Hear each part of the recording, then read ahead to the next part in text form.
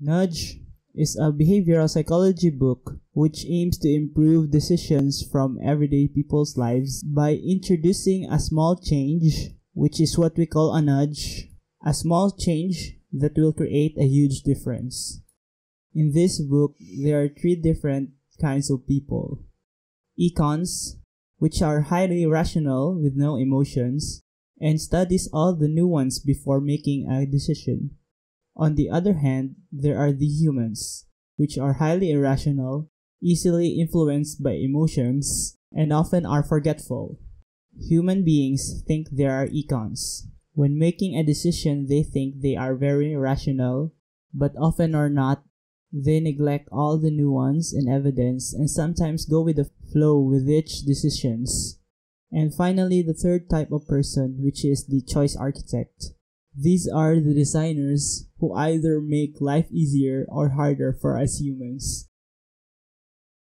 For choice architects, a good rule of thumb is to assume that everything matters. But on the other hand, we can't design the perfect system. This is often addressed by creating within a scope and designing towards the well-being for us humans. So here are the five key takeaways of the book Nudge relating to user experience. The path of least resistance. Let us say you want to create a food application aimed to people that want to start a healthy diet. This would be an example of its landing page. On the first fold of the screen, they can see a healthy food option which are easy to prepare and the ingredients are often available in everybody's home. When first starting out, we must make it as easy as possible with not a lot of effort for them to start their fitness journey. The power of the default. Some of you might heard about the paradox of choice. The more the choices are, the harder it is for us to choose. By setting a default option, we can make the user narrow down their choices. A good example of this are subscriptions for software services. Rather than presenting customizable plans outright, it would be best to present them as bundles. The fewer, the better. Another examples are notifications for your financial services. If you have a mortgage to pay, a good choice architect would set the default option to send notifications each time the due date is near. Dynamic inconsistency. This can be a fancy term for what we call procrastination. We can say that I would be productive tomorrow, but we end up binge watching YouTube videos the whole day or play some video game. So how do choice architects design for this type of situation? One is creating an app that would lock your internet viewing of non-productive applications. It's like a child filter but for adults. In my own experience, one thing that often works is saying the time and the action. I will work on this paper about nudges in this afternoon, 1 p.m., until the third paragraph.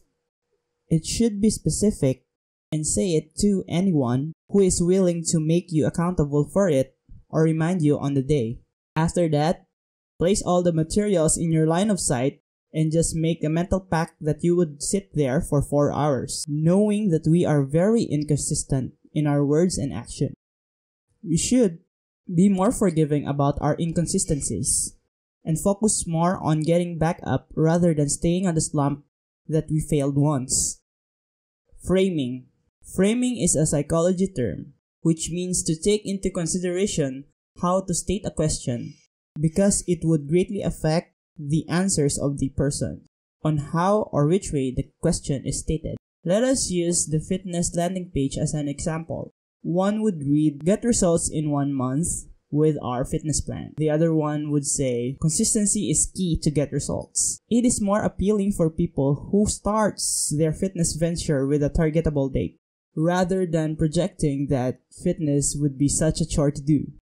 Or how about this design of a prospectus of a company? Our company earned 20% more last year compared to this one. Our company long-term debt is 20% higher than last year. The perception of long-term debt is more negative than stating that the earnings of the company is much more higher. If the company wants to attract investors, they would want to focus more on the messaging that the company is profitable rather than the company is racking up debt. The herd mentality. Why do some elderly folks have Facebook, Twitter, or sometimes a TikTok account? Herd mentality kinda answers these types of questions.